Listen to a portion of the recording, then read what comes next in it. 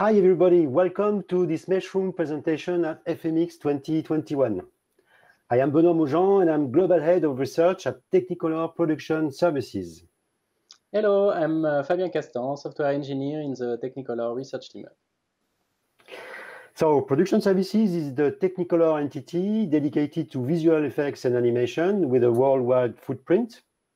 Our diverse family of VFX brands includes MPC Film, Mr. X, and MPC Episodic. Our creative community also provides services for advertising, animation, and gaming with brand names like Mikros, MPC Advertising, and The Mill. To achieve this level of creativity, the group needs to gather the best talents and the best tools. And of course, innovation is essential to provide the best tools for the artists. Today we are presenting a computer vision software called uh, Meshroom. So Meshroom provides a 3D reconstruction pipeline uh, that can be used for the 3D scan of uh, the shooting set or for the 3D scan of film assets. The photogrammetry of the film set can also be a key element to do the match moving of uh, all the shots uh, within the same coordinate system. And since uh, the end of 2020, uh, Meshroom also provides a new pipeline for the creation of HDR panoramas. As you know, the objective of this 360 map is to replicate the lighting of the set environment. Uh, it can also be used in uh, high resolution for direct background replacement in compositing. So here we can see a production example for advertising. So it's a simple example where we have to integrate a CG character in a real environment. Uh, so first, we need to scan the shooting set to be able to put the CG character in situation with real props. And we also need a 360 capture in HDR to retrieve the full dynamic of the on-set lighting uh, that we use for the uh, image-based lighting of the CGBA.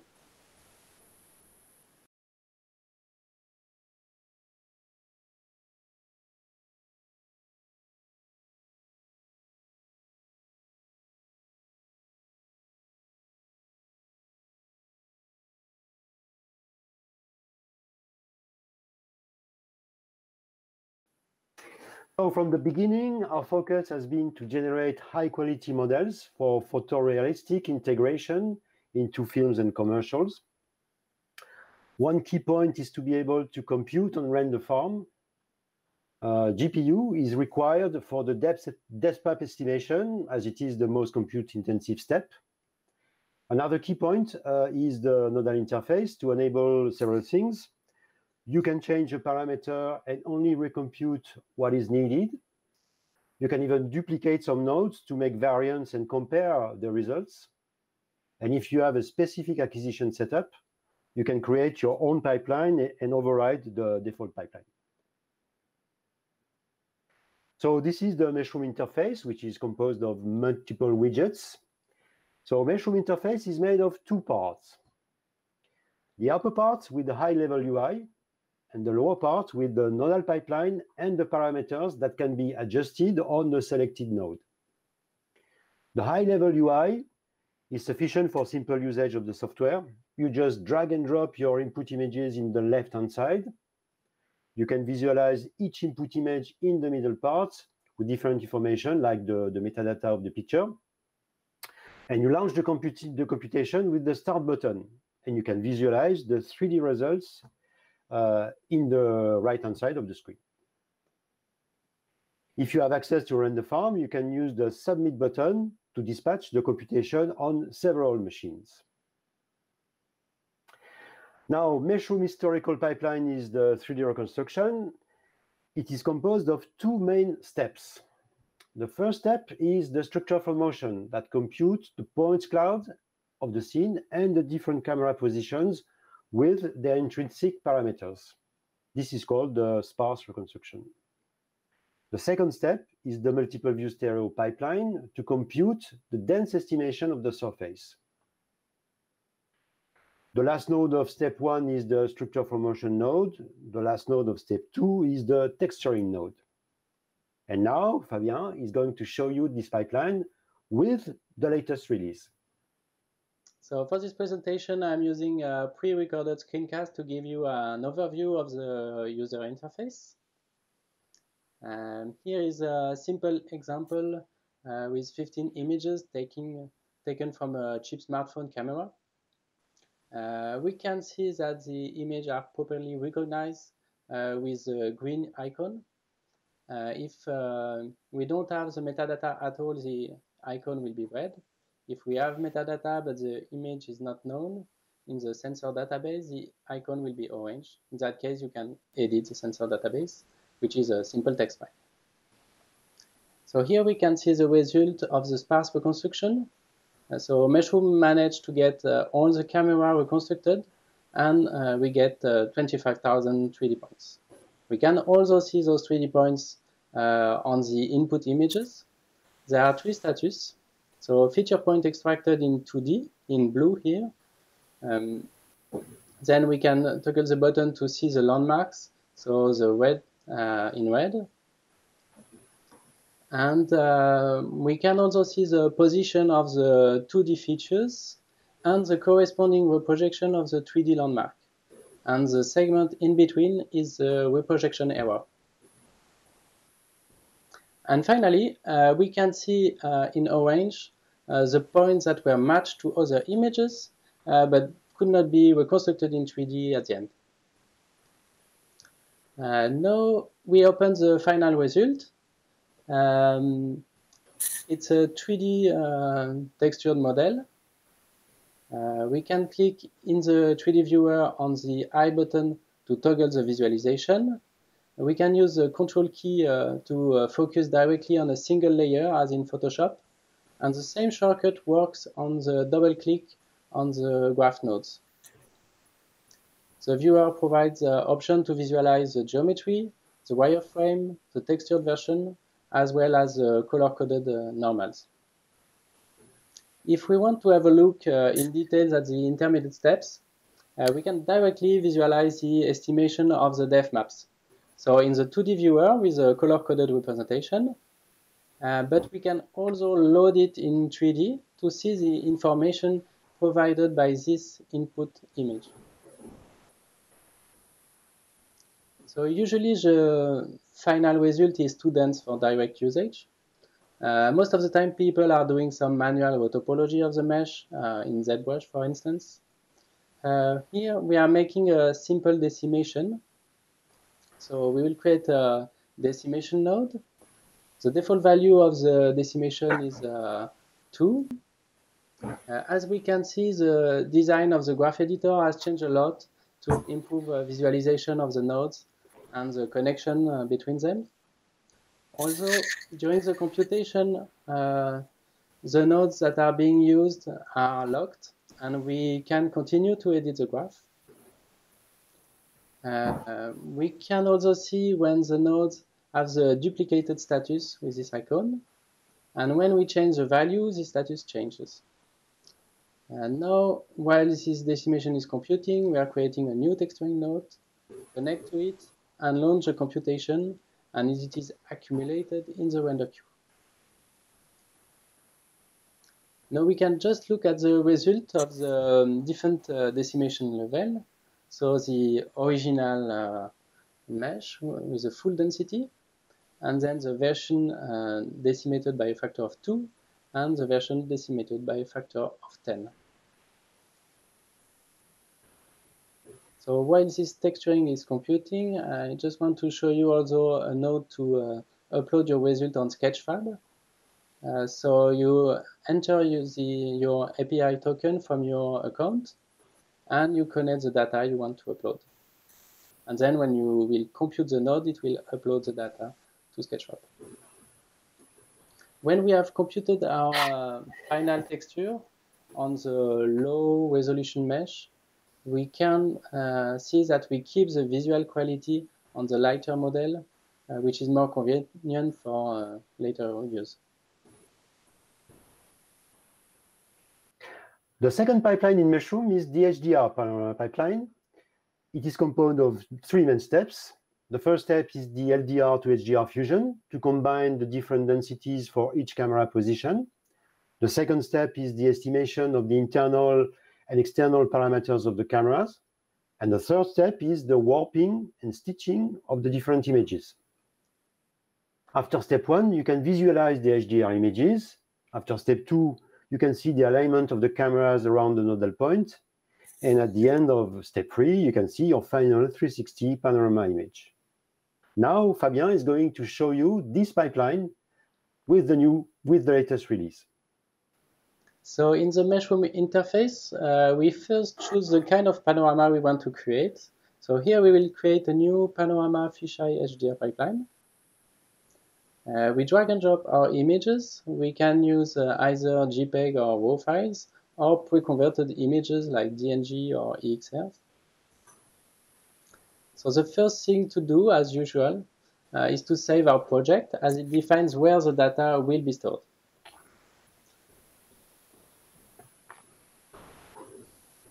Now we compute the first steps of the pipeline. So um, it has automatically detected the number of brackets, but we can also override it. Uh, in the image viewer, we can visualize the metadata. And if we look at the first node of the pipeline, the sampling, uh, so this sampling node will uh, select the most reliable pixel across the different brackets uh, to estimate the camera response function then the calibration node implements two standard methods to calibrate this camera response function that we can then visualize uh, in the 2D viewer. And finally, uh, the LDR to HDR merge node fuse our LDR images together. In the image gallery, we can toggle the bracketing button to see the fused HDR images and then visualize them in the viewer. Uh, the viewer is 8-bit by default, but you can enable the HDR button to have a full floating point visualization. And you can then adjust gain and gamma to check highlights and dark areas. When we have our HDR images, uh, we can then start to extract feature points uh, that we can visualize in the viewer. Then the panorama init node uh, estimates the fisheye circle automatically uh, but you can also edit it manually. So, so it's green when it's uh, automatically estimated, and then it switches to yellow for the manual edition. After that, uh, the panorama estimation node uh, computes the relative poses between the camera, and we can see uh, the links between the images as 3D points projected onto a 3D sphere we can now compute the stitching part. Uh, so first uh, we um, compute the panorama warping node to warp images into the equirectangular coordinate system. Um, on this node, you can define the final resolution of the panorama. Uh, by default, it is estimated automatically, and you can adjust the upscale ratio to determine the trade-off you want between the amount of upscale and the amount of downscale pixels. But you can also manually set the output resolution of your panorama directly. Uh, then the panorama seams node tries to uh, reduce artifact on the transition between images by uh, selecting uh, optimal location for the seams. The panorama compositing node uh, will fuse all the warped images together using the multiband blending algorithm and the panorama merging node will just aggregate the result together into an image. So we can double click on this node and visualize our panorama. If we uh, enable the checkerboard background, we can see that we have some uh, missing part where the alpha is empty uh, on the border of the image. And this small uncovered area are filled up with the latest node, with the final image processing node, using just using the neighboring colors.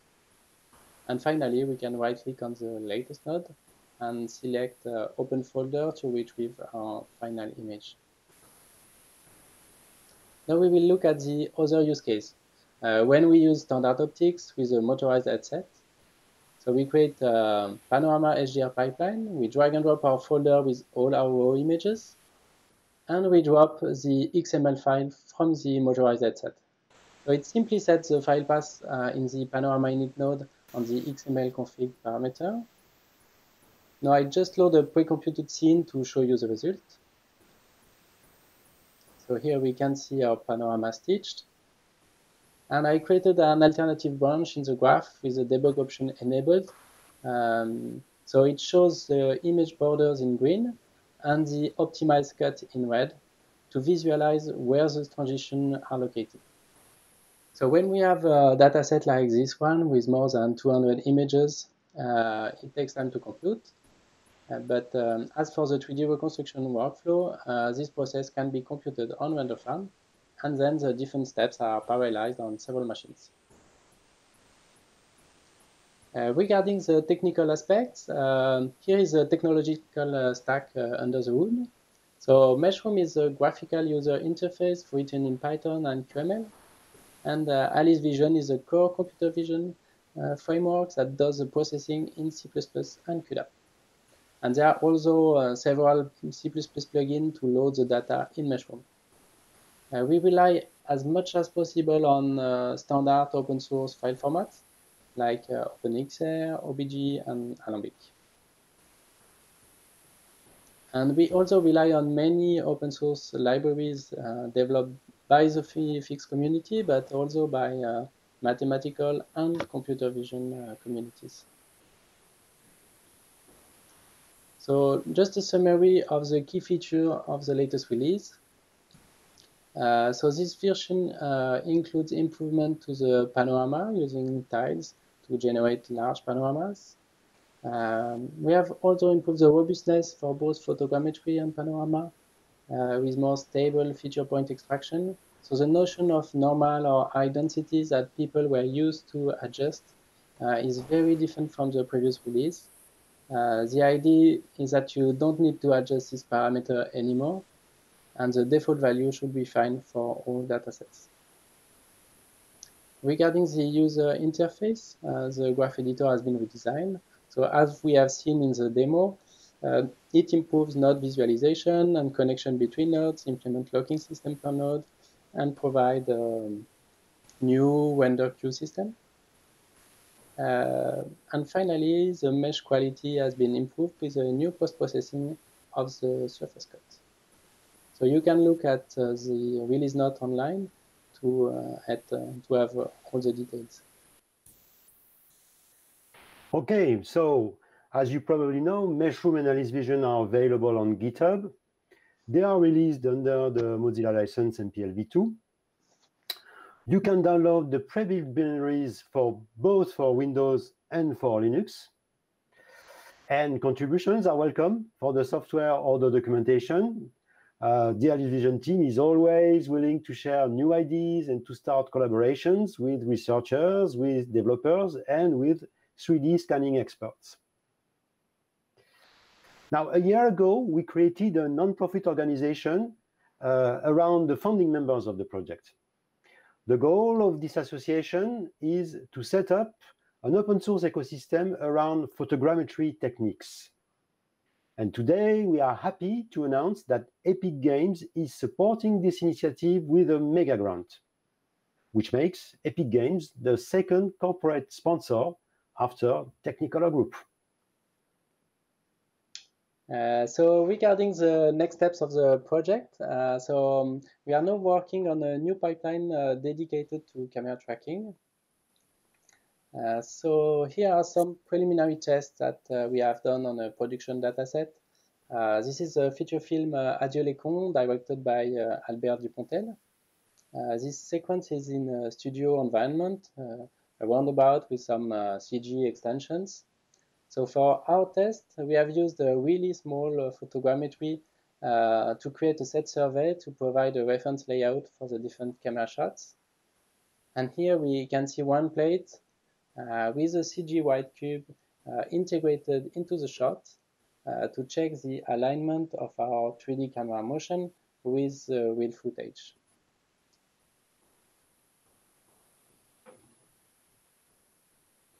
And uh, exactly the same shot, uh, but, but with a full photogrammetry point cloud in overlay.